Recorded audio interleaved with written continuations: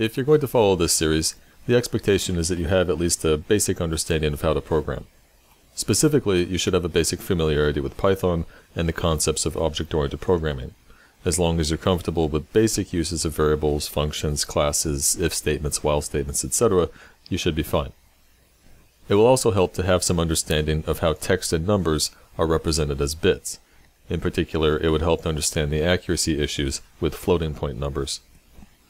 It's also good to have an understanding of the context in which a program runs, namely the operating system and the hardware. What's the difference between a process and a thread? What's a file? What's a system call? What's the relationship between memory and the CPU caches? Things of that nature. You'll also want some basic familiarity with using the command line, nothing advanced, just navigation between directories, starting programs, and possibly modifying the system path. As for math, we may cover a bit of linear algebra, which mainly concerns matrices, but the only expectation coming in is that you at some point in your life covered basic geometry and trigonometry. If you can't remember now which is sine and which is cosine, don't worry, I'll probably remind you when it comes up. And finally, if you want to follow along with the code and play with it yourself, the code will all be made available on Bitbucket, which uses the Mercurial versioning system, so you'll want to familiarize yourself with Mercurial's basic usage. Now, if you're totally new to programming, you can work your way through the videos at codeschool.org, but that's quite a lot of material. So if you just want to do the bare minimum, you should watch the videos called A First Programming Language, the JavaScript Language, and the Python Language, in that order. The JavaScript video is necessary not because we're going to use JavaScript, but because the Python video won't make sense without it. And of course, if you need help with any material in this series or the Code School series, you can post questions in the Code School discussion group the link to which is on the Code School front page. As you may know, C++ is generally considered the language of choice in most professional game development. Virtually every commercial PC and console game of the last decade and earlier has been written mostly or wholly in C++, and this language preference will probably continue into the indefinite future. However, well into the 1990s, many PC games and almost all console games were written in assembly. Assembly, remember, refers to any language in which the programmer specifies the precise CPU instructions one by one. The use of assembly was of course mainly for efficiency reasons. Games are among the most taxing programs around, so in order to maximize the current hardware, it makes sense to use the language with the least performance overhead. In theory, the precise control of assembly provides sufficiently smart programmers the ability to produce the most efficient code possible. By about the mid 90s, though, consumer hardware, PCs especially, became fast enough that the tiny efficiency gains programmers can eke out when using assembly instead of languages like C and C++, those efficiencies began to matter less and less in the overall performance picture. Past a certain point of code size and complexity, small efficiencies stop making much of a visible difference, and so just aren't worth the programmer time and effort. Besides, when code is slow on today's hardware, the first culprit is the choice of algorithms, not the minute details of the exact instructions. So better to use a more convenient language like C and C++ that makes it easier for programmers to experiment and find the right algorithms. Today, we leave minute optimizations of the precise CPU instructions up to compilers. But now, why the choice of C++ rather than some other non-assembly language? Well, first, C++ still allows the programmer a high degree of control over precisely what goes on on memory. The programmer in C++ explicitly manages memory and can create data types that use minimal space. Also, the built-in numeric types, int, short, long, double, and so forth, the primitive types as they are called in some other languages, these types can generally be processed efficiently. For example, the int type is defined as an integer which is the same size as the CPU's general purpose registers, the optimum size for basic computations like addition and subtraction. And lastly, because C++ is statically typed and gets compiled to machine code, the compiler can aggressively optimize the compiled code in a way that cannot be done for dynamic and interpreted code. And in fact, this aggressive optimization in C++ is often the slowest part of the compilation process. In Python, in contrast to C++, the programmer does not explicitly manage memory. Instead, the interpreter is responsible for garbage collecting any created objects. For the most part, the Python programmer creates objects without worrying about deallocating the memory which those objects occupy. On the downside, this lack of control means that Python programmers cannot specify the precise byte by byte memory usage of data types. Python's numeric types also favor convenience over efficiency. A Python integer, for example, can be of arbitrary size, meaning that, say, two Python integers cannot generally be added to each other in a single CPU instruction the way that two ints in C++ can be added together with just a single CPU instruction. And lastly, in a dynamic and interpreted language, a lot of information about what will happen at runtime only gets discovered at runtime. It's only knowable at runtime. And it's this lack of foreknowledge that makes aggressive compiler optimizations not possible with Python code the way they are with C++ code. So, the cost of Python's conveniences are overhead, both in space, meaning extra memory usage, and time, meaning extra CPU work. If you're trying to push current hardware to its limits, C++ is clearly the preferable choice. However, we're going to use Python because today's piece of hardware is sufficiently powerful that less taxing games should run perfectly well in Python, especially games with just 2D graphics. To give you an idea of what's possible, here's a game called Save the Day, programmed not in Python but JavaScript, which has all the same basic efficiency disadvantages compared to C++. This game actually runs in the web browser, but it uses OpenGL for its graphics rendering like we will be doing in Python. Here's another JavaScript game in the browser, this time in 3D.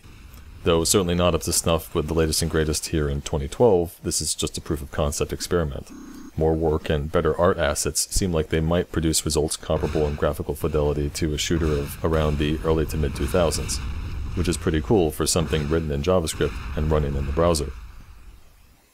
But if after this series you're interested in learning more about game programming in C++, I recommend starting with this book, Game Engine Architecture by Jason Gregory. Gregory covers many of the same fundamentals we'll cover here, but he also covers some topics applicable to C++ but not Python, such as manual memory management. Now, if you want to follow along with the code and try coding yourself, you'll need to install a few programs. First, of course, you'll need Python, and then two Python libraries, a framework for games called Pyglet, and the Python imaging library, which allows us to work with image files of many formats. Though I cover Python 3 in my Python video, we're actually going to use the older Python 2 for better compatibility with the Pyglet framework. The apparent differences between Python 2 and 3 are small enough that this shouldn't be a problem, and I'll point out any differences along the way.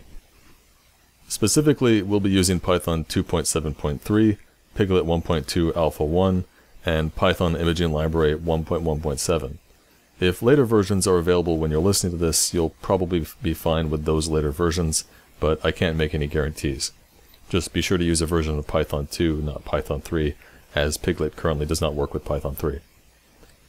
I also recommend installing Aptana and Notepad++. Aptana is a repackaging of the Eclipse IDE that includes the PyDev plugin. PyDev is nice because it gives us some conveniences like an easy-to-use Python debugger.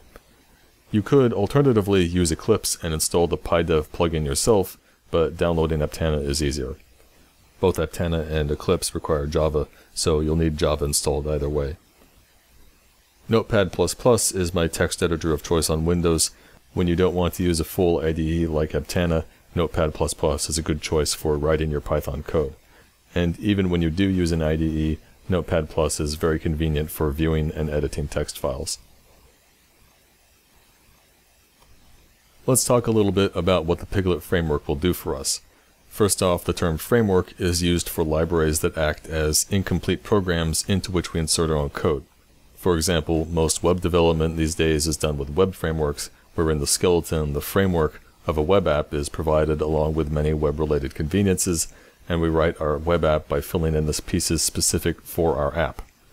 That said, Pyglet is a very minimal framework, so it's not obscuring too much of the underlying system from us, which is why I prefer it to another Python game framework called Pygame. Pyglet spares us some bother without obscuring how game code really works. Moreover, Pyglet handles many cross-platform differences, such that our code will run on Windows, Mac, and Linux. So the features of Pyglet include, first off, creation of our game windows with an option for full screen mode. Pyglet also handles the messages, the so-called events, which the operating system sends to our windows. These include mainly the input events sent when the user clicks the mouse on the window or hits a keyboard key while the window is focused, Pyglet also can capture game controller events so our games can support joysticks and gamepads. We'll talk more about window events in later videos. To draw on our windows, we use the OpenGL library, which, as we'll discuss in detail later, is a standard cross-platform interface to the graphics hardware. The OpenGL library is provided as a C code library, but Pyglet wraps the C code such that we can invoke it in Python. This wrapper isn't 100% complete, but it's close and more than adequate for our purposes. Though using OpenGL from Python instead of C or C++ naturally introduces some overhead, it's very much the same OpenGL you would use in C or C++, so don't worry that we're covering a dumbed down version of OpenGL. Pyglet gives us proper OpenGL. However, if you want to make 2D games in Pyglet without using OpenGL directly, Pyglet provides a simple abstraction layer for drawing what are called sprites. Sprites are simply 2D images positioned and rotated on the screen. Many 2D games can be rendered simply by composing the screen out of a bunch of sprites, some rendered on top of others. In a side-scroller, for example, the background might be one or more sprites, and the characters are sprites drawn on top. Be clear though that Pyglet's sprite abstraction itself uses OpenGL, so in fact you can easily mix these sprites with direct use of OpenGL. Pyglet also provides for simple playback of sound and video, and lastly, Pyglet provides the basic framework required in any game, what's called the game loop. As we'll discuss in the next video, writing a game loop is easy. The hard part is handling the timing, and that's where Pyglet helps us out. The Pyglet code is organized into a number of Python modules. Pyglet.app and Pyglet.clock both concern the game loop and timing just mentioned. Pyglet.window creates our windows. Pyglet.gl is the OpenGL wrapper, while Pyglet.graphics and Pyglet.sprite provide a simple layer of abstraction as just discussed. Pyglet.text provides convenient methods for drawing text, and Pyglet.image provides for the loading and managing of image files. Pyglet.media contains the sound and video facilities. Pyglet.font is an older module for loading fonts and rendering text, uh, though it's mostly superseded by the newer Pyglet.text. Uh, Pyglet.resource provides a more convenient way to load resource files, namely sound and image files. And finally, Pyglet.input provides the ability to get game controller input. Note that a few of these modules share overlapping features. In some cases, this overlap is for the purpose of providing both a low and high-level API, such as Pyglet.gl for direct OpenGL and pyglet.sprite for convenient simplified API.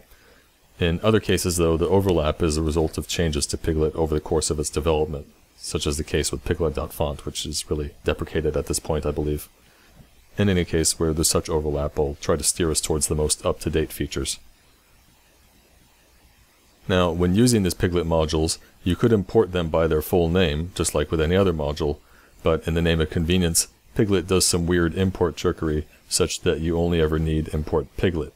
All of the other Pyglet modules get assigned to attributes of the Pyglet package module. For example, pyglet.app can be accessed as pyglet.app after having imported only pyglet, not pyglet.app itself. I could go into a long explanation of how exactly Pyglet pulls this off, but it would require a long refresher on how exactly Python imports modules. Before ending here, let me give you a quick sample of some Pyglet programs. Here's a program written with Pyglet that displays balls bouncing around the window. By itself, the program is unimpressive, but for a program that displays text in a window, takes keyboard input, and animates moving objects, it's impressive that the whole thing is written in just 60 lines. Similarly, here's an Asteroids clone written with Pyglet that, while merely competent as a simple game, the whole program, complete with proper menus, is written in less than 800 lines. We should have no trouble getting similar bang per line of code when we write our own clones of classic games, such as a Tetris clone in less than 500 lines.